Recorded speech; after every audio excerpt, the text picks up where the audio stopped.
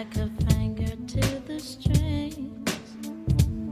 You'd weigh if I said.